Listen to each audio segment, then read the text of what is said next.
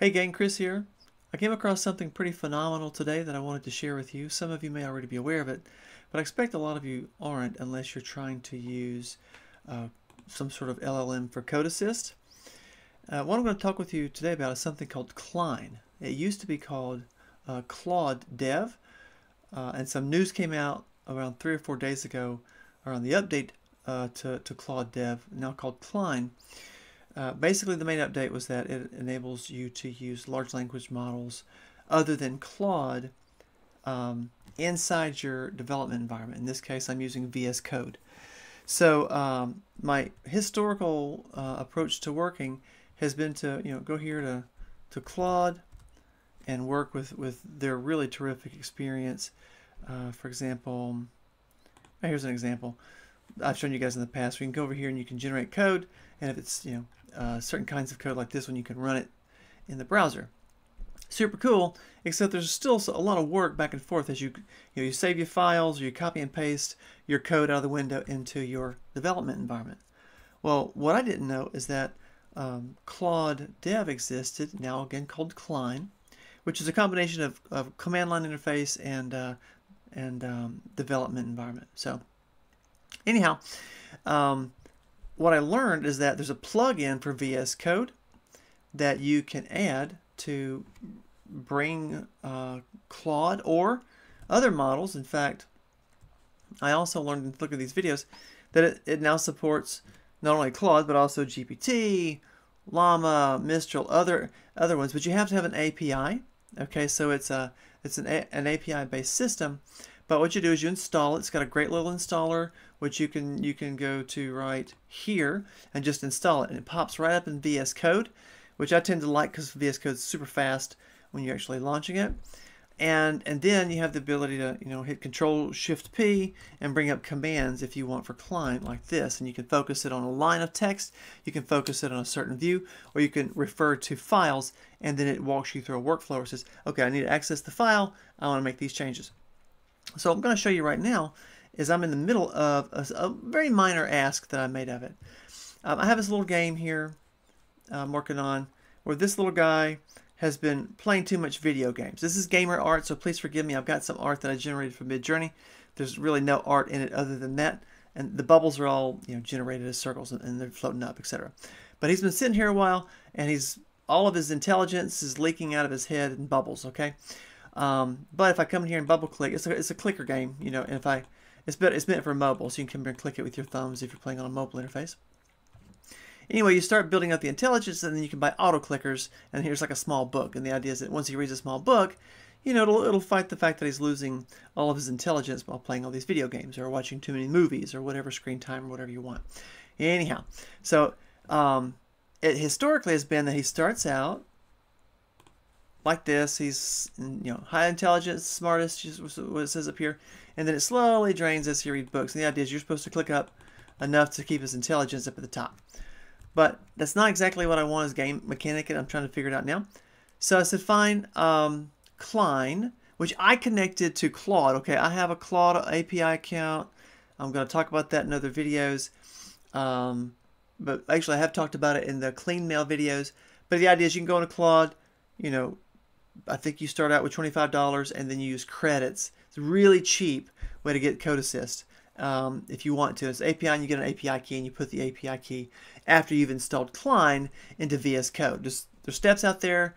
I won't necessarily go into it here because uh, I want this to be a fast video. But once it's there, you bring up the Cline chat window and you can give it what, what, what you want it to do. In this case, I said, you know, update the game so that the boy starts out with zero intelligence. Now here's what here, this is where I was really delighted. All right, so this was only a one-step change, but I got access to it. It ran through. Wow, it actually told me how much it cost.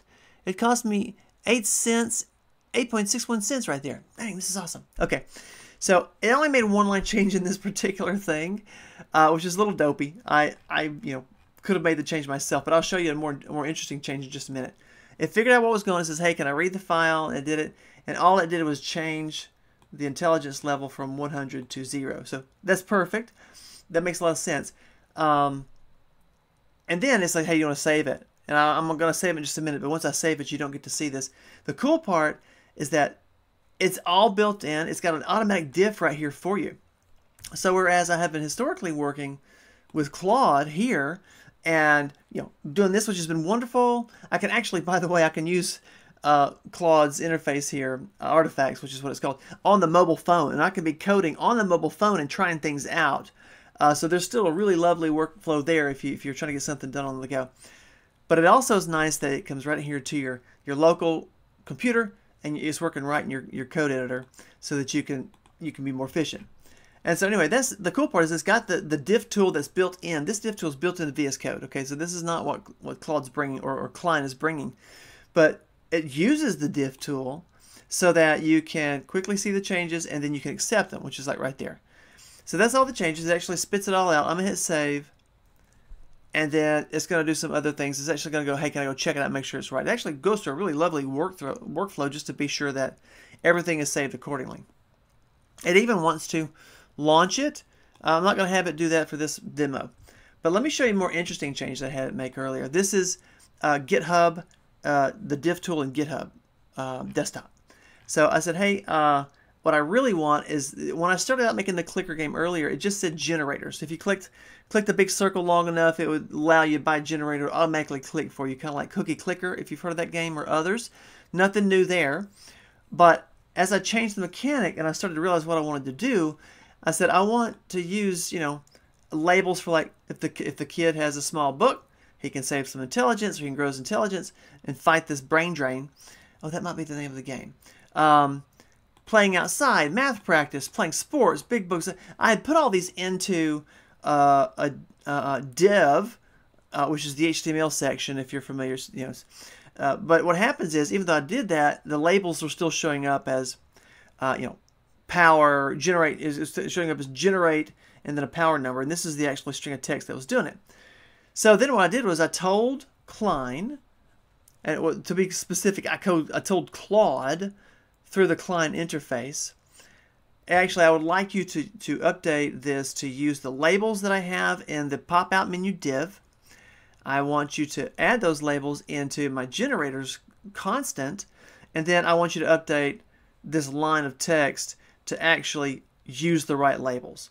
It did it in one shot and before I accepted it, like I did with you guys just a minute ago where I hit the accept button, it showed me in the diff tool. So I didn't have to go jump into um, the online Claude interface. It's the same backend model, to be clear. It's using Claude 3.5 here, you know, 3.5 Sonnet, which is killer. Uh, but instead of using this interface, which also takes, you know, credits out of my the initial money that I put in, it's using it through right through my browser. It literally took me five minutes. That was it to go online, find Cline, which is here, do a do a um, and actually you don't actually have to do a GitHub install. You can just go. Uh, Cline has download it right on the VS Code Marketplace. Okay, so you can go right into the, the Visual Studio Marketplace, install it, it pops right into here, as I said earlier. You do the install, you add your API key, uh, and then the only the only challenging part is remember to hit Control Shift P and then type in Cline to get whatever it is you want because there's different workflows that you may want. You might want to just update a, one sentence, which you can do. So check this out. Let's say if I wanted to go into um, this section here and Control Shift P, and I say Cline. You can either focus on the view, but you can also start an editor with current line, right in line, just like you can do uh, if you're if you're doing like in painting with an image, or if you come over here to uh, the Claude interface, you can also now select like that, and it'll say improve, and you can tell it what you want to do. So this kind of stuff is evolving. And if, if you're still working, say, with ChatGPT, where you're copying, pasting code out of ChatGPT into your editor, or if you happen to be in Clyde, excuse me, Claude with your uh, with their um, artifacts interface, that's totally cool. But if you happen to be using VS Code, you can come right in here and, and with just a little bit of work, you can integrate access to Cline right inside of your IDE. By the way, GitHub also has one called GitHub, GitHub, Co, GitHub Copilot. I can't talk. And when you install that one, it'll pop up over here, same kind of thing, and you can bring up a chat window just like I have with, with Cline. So I'm just hit that one. You can see that one as well. I'm not going to talk too much about Copilot chat. It is here. Same kind of stuff. honestly, it's not yet as powerful as Cline. Like it did not do this. It did not do this um, inline stuff, or didn't use the diffs when I first tried it, which was honestly last week. So, uh, but this is also a plugin you can install. It's GitHub Copilot. I can't quite tell honestly if it's from Microsoft or from GitHub or what, because Microsoft also has Copilot. But I think GitHub owns it, and then they let you attach to some sort of free uh, API on the back end and runs their LLM. So same kind of thing. But you now have the ability in VS Code to run at least two different large language model chat interfaces. I may play more with Copilot to see if it can do this inline bit because it you know it does have some stuff up here. So if I type in Copilot, try that again. Control Shift P, Copilot. Yeah, you can see all the all the stuff it has. Add file chat, collect diagnostics, explain, fix, generate docs. It does some other stuff too. I don't quite know whether or not you can go quite inline, but there is this inline chat right here, so maybe. Anyway, I was delighted because I didn't know that um, Cline existed. Now I do, and I thought I'd share that stuff with you guys. Let's see whether or not my, my fix actually worked. I'm going to flip over to my little bubble game. I'm going to refresh it and see. He should start out, instead of at the max intelligence, at zero. Bang. Hey, what do you know? It works. Cool. So then I go in here and click my little bubbles and try to get it increased enough to where I can get enough points. I got four, I get up to 30. I can buy a little small book, and then he's he's sort of self-serving his own growth. Okay, guys, that's it. Hey, thanks for looking at my little video. Love to hear comments from you. I really encourage you to try out Cline. It's a super cool little plugin. It's all free. You do have to have an API, and again, those APIs can be um, a bunch of different kinds. But even if you're paying for an API, I think it's a real win to have it built right into the editor. Again, it's called Cline. Okay, thanks, bye.